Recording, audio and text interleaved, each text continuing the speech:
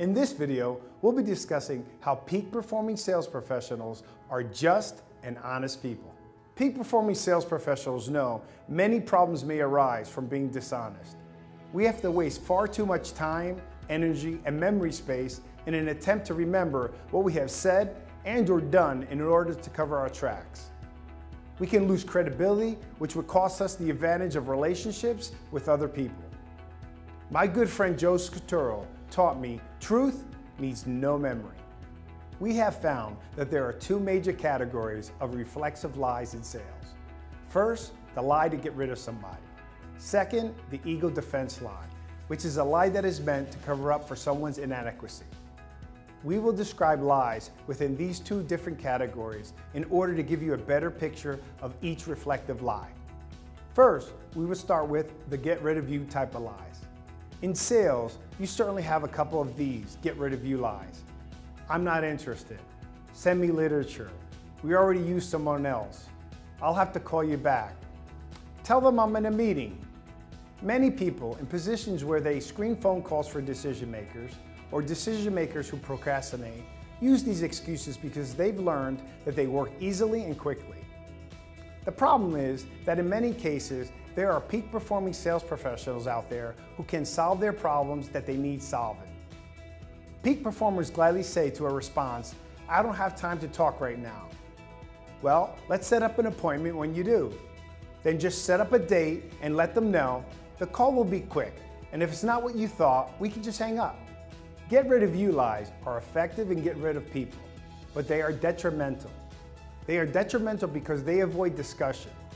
Prospects and clients are not used to peak performing sales professionals. We are not trying to sell you anything. We want to determine if we are a right fit together, then see if there are any problems or pain or challenges that our products and services can solve.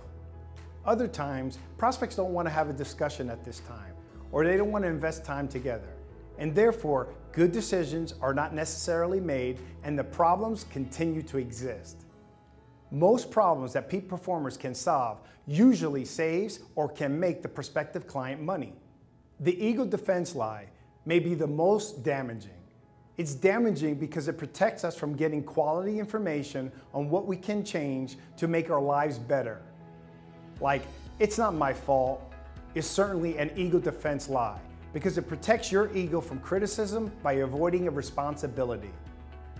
Some other ego defense lies which protect your ego from criticism are, I've never done anything like that before. Even more damaging.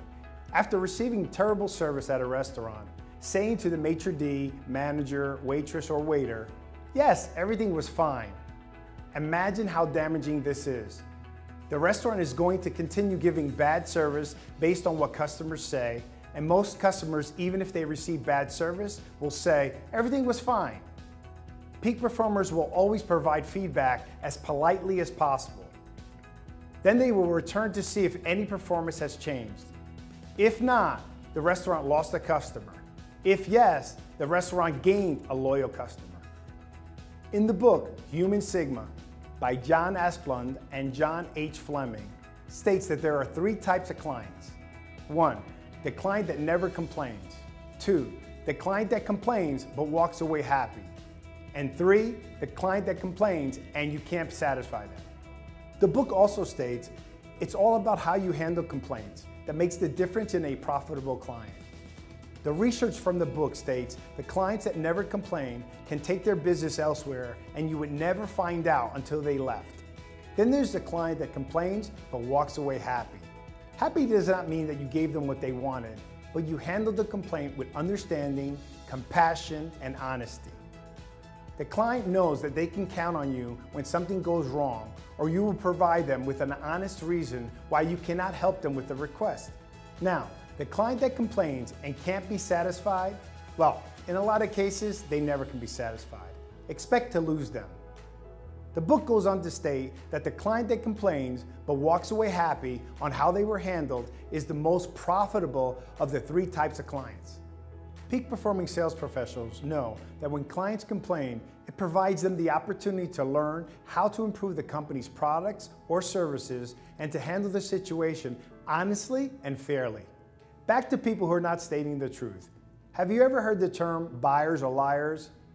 This does not mean that they are dishonest people, but when they are considering buying your product or service, they tend to hold back information or exaggerate what they have now to get more out of the salesperson. This could be a better price or more value added services. Peak performing sales professionals know that people use reflective lies to put off decisions. Peak performers simply don't lie. If they find it necessary to hold back information to protect someone, they do this very responsibly. They analyze the risk for not lying by asking, what is the worst that can happen? They then ask, what is the best possible result? They analyze the options, they ask what else can they say that is not a lie, and they openly communicate. People may not immediately respond well to honesty, but they certainly appreciate it. Action items. One, always err on the other person's side. Two, provide polite, honest feedback when you are being serviced or bought a product. Then give the company another shot at being their client.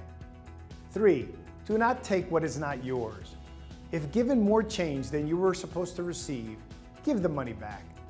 Greatness is being world class. Sell to greatness.